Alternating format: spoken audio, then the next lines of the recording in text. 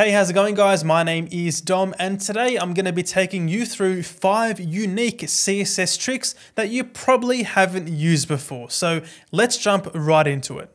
First up, we've got the max content value against the width property, right? So picture an example like this where you've got a div with some content inside of it. Going inside the text editor, we can see right here, I have this div with a class of content and the text within that, as well as a rule set for the content class with a font family, backgrounds, a color, and some padding. Now, as we can see here in the example, the width of the div takes up the entire remaining space on the page, and this is natural of a div with a display of block. But what if you wanted the width of the container to only be whatever is in uh, the container itself? So basically, what if you want the content inside the div to determine what the width should be? Well, you can use the max content value against the width property. So going back inside the text editor here, we can see if I was to do a width of max dash content just like this, I'll save it, go back in the browser,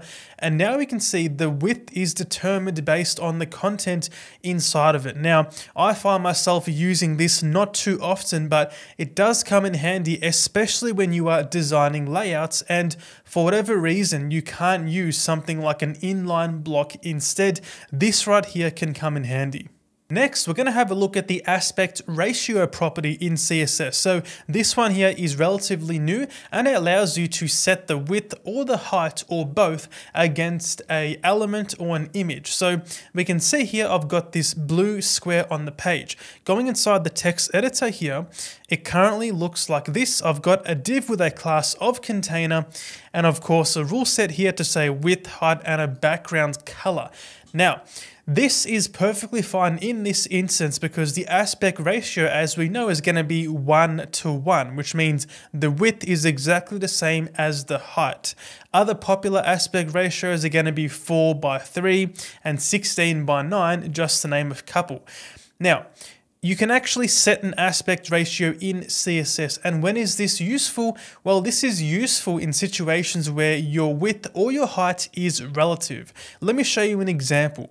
If I change the width of this to instead be 50%, and I'm going to keep the height at 100 pixels. I'll save this, go back in the browser, and now we can see the width of the container is relative to its parent, in this case here, the body itself. So it's 50% of the body, but the height is not changing. So the aspect ratio of this div here is constantly changing as the width changes. But what if you don't want that? Well, you can do that very easily using the aspect ratio property.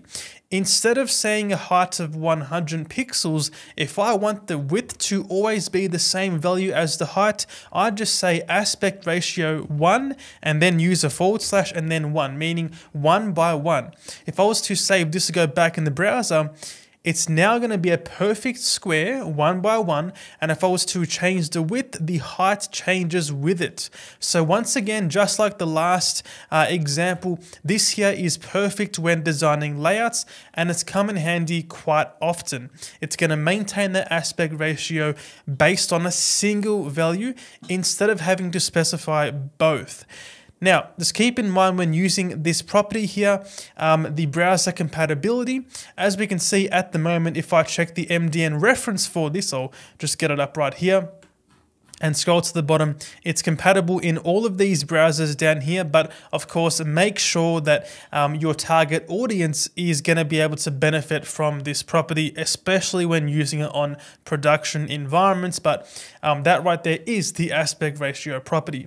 Next up, we've got attribute selectors. Now, what are attribute selectors? Well, as the name suggests, it allows you to select elements based on their attributes. So right here, I've got two input fields, an input field with a type of text and one with a type of date. I can choose a date here instead of a text field. Now, if I go inside uh, VS Code right here, we can see I've got both the input fields in my HTML with a text and a date for the type, as I just mentioned.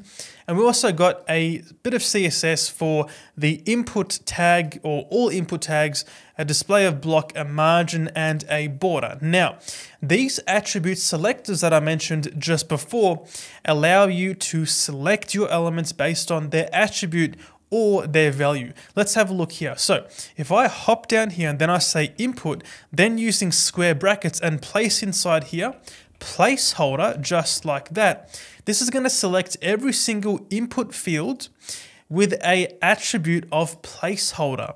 Okay, so now I can say, for example, a border color of blue instead. I'll save this, go back in the browser, and it changes to blue. It is that straightforward. You put your uh, you put your attribute inside the square brackets, and you can select based off of that.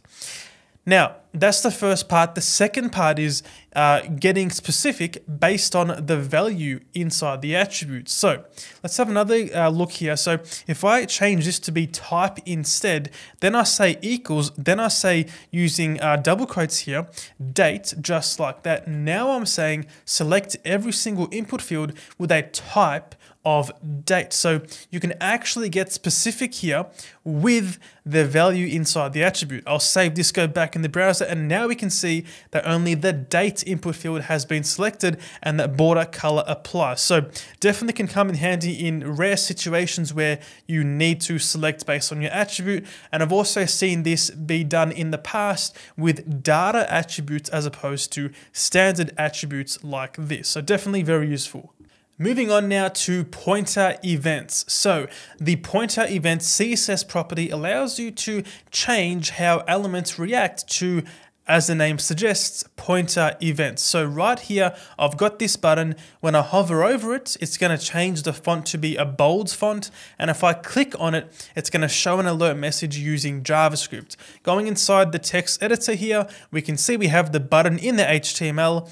We are also saying colon hover, then saying font weight as bold. Then right down here, we're saying a query selector against all of the button tags.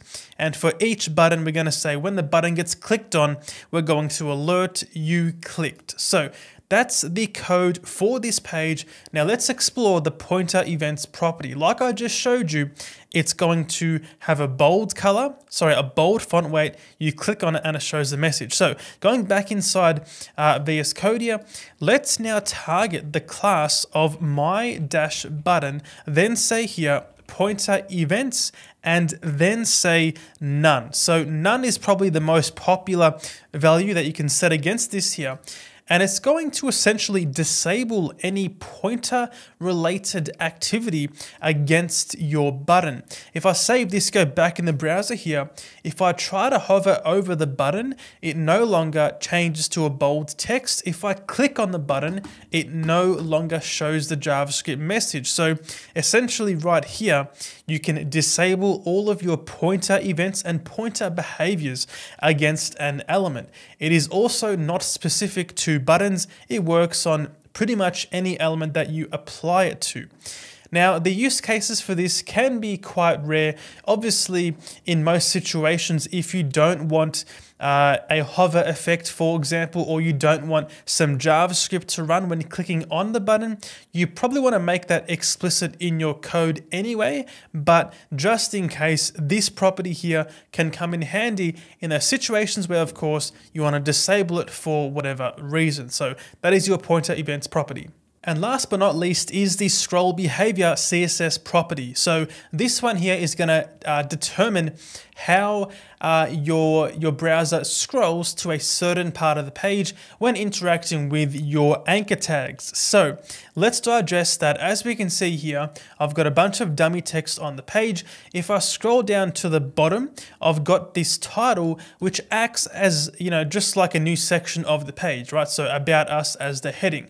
Now, you've probably seen it before where if you have in the, uh, in the URL here, if you do hash then something like about us, You've probably seen it where when you press enter, it jumps to that section of the page. So this is done using the ID of whatever the element is on the page. If I go inside VS Code here, I've got an ID of about us on that H1. So if I do hash about dash us in the URL and press enter, it's going to jump to that section of the page. So that's how that works. But you can actually change this behavior by using the scroll behavior CSS properties. So going back inside VS Code here, let's go against the HTML and then say scroll behavior as smooth.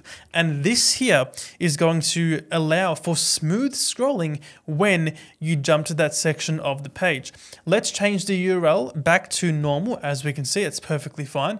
If I now say hash about us and press enter, it's going to smooth scroll down to that section. So just a nice touch that you may wish to introduce when using your anchor tags, your link tags on your page, or when users are, you know, clicking on an external link to your website and you want to make them scroll down smoothly to the section that they clicked on. So that is your scroll behavior CSS property.